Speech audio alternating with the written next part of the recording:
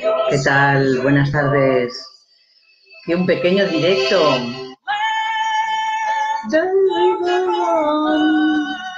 Deja correr el río.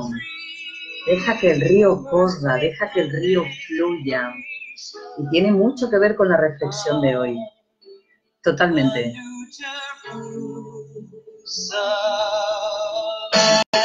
Ella es Carly Simon y es de la película, bueno, el título de la película creo que no me voy a acordar, pero lo hizo, la hizo Melanie Griffith y Harrison Ford. Voy a ver si tiene el título. No. Ah, sí, Working Girl. Bueno, vamos a dejar a Kylie Simon cantando, vamos a dejar a Melanie Griffith y Harrison Ford en la película y vamos a hacer la reflexión.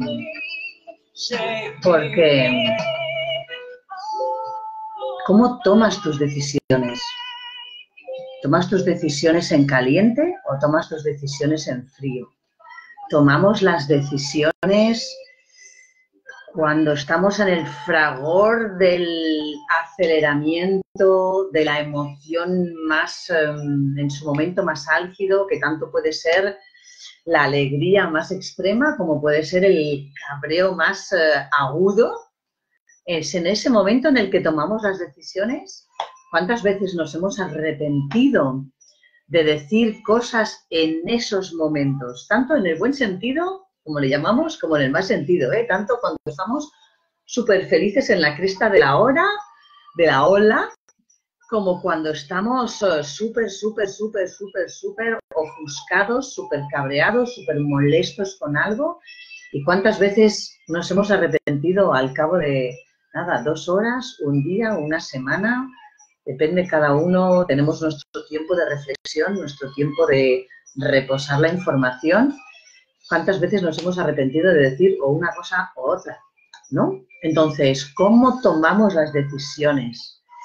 En el alboroto o tomamos las decisiones en el silencio, en la calma, en la reflexión, en la observación distanciada de los acontecimientos, de los sucesos, de las personas, de los elementos que haya que contemplar, en el silencio o en el alboroto. Albert, Einstein dijo algo muy interesante a ese respecto y dijo que las mejores decisiones vienen de la soledad, y las peores del alboroto. De ahí que quería hacer esta pequeña reflexión para que en estos momentos tan oportunos que estamos viviendo, por, por lo menos aquí en Barcelona, en Cataluña, y que distanciemos un poquito, que tomemos la información, no solo de esta, ¿eh? vamos, aprovecho esta circunstancia, pero porque en realidad tenemos que pararnos a reflexionar todos, todas las partes implicadas en este tema, pero nosotros en nuestra vida cotidiana, ¿no? Nos paremos a, a reflexionar en qué momento, en qué momento tomamos la decisión, en qué momento hacemos la elección que luego vamos a tomar acción sobre ella. Que eso también es otra cosa sobre la que podríamos reflexionar, ¿no? Voy a alargar la reflexión. Entonces, a veces hacemos una elección, ¿no? Y decimos algo, pero a partir de esa elección uno tiene que hacer acciones, porque si no las cosas se quedan en la teoría, ¿no? Se quedan en nuestra mente, se quedan en nuestros sueños, se quedan en el aire. Hay que, hay que dar pasos, hay que tomar acciones, pequeñas, grandes, medianas, no importa. Hay que tomar acción para que aquello que has elegido se materialice, sea lo que sea y de lo que estemos hablando.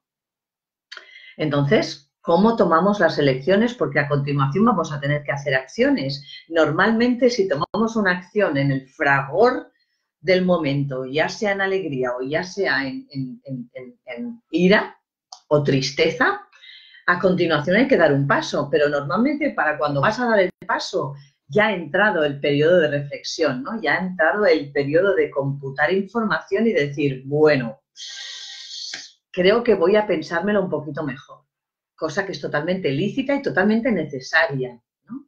Yo me acuerdo cuando era, cuando era, iba a decir más pequeña, pero bueno, era más joven, más pequeña, hace muchos años, cuando aún vivía en la casa familiar. Y mm, por aquel entonces cuando tomabas una decisión, o sea, lo que circulaba como información en la familia, ya no solo en el núcleo de casa, sino en la familia, ¿no? Tíos, abuelos, eh, primos, etcétera, ¿no? Era que, bueno, pero es que si piensas esto, piensas esto y ya está. Y bueno, la vida obviamente nos ha demostrado a todos que es evidente que en este momento piensas una cosa, pero las circunstancias, la vida te puede, te puede traer mm, sucesos, actividades, trabajos, relaciones, cualquier cosa que evidentemente cambiemos y evolucionemos. Al final, lo que es la vida es una gran evolución desde si no miremoslo como físico, ¿no? Desde que nacemos hasta cuando nos hacemos adultos, envejecemos, ¿no? En qué, cómo nos vamos transformando, cómo vamos evolucionando. Eh, es, es casi imposible que elijas una cosa y te quedes con ella de por vida. Es posible, sí que es verdad, pero ¿Cuántas cosas nos hemos dejado en el camino por no abrir las miras, ¿no? por no abrir el mapa, por no abrir un libro, por no abrir un camino, por no cerrar una puerta, una ventana? Y ya está, ya no me enrollo nada más hoy. Ya está bien.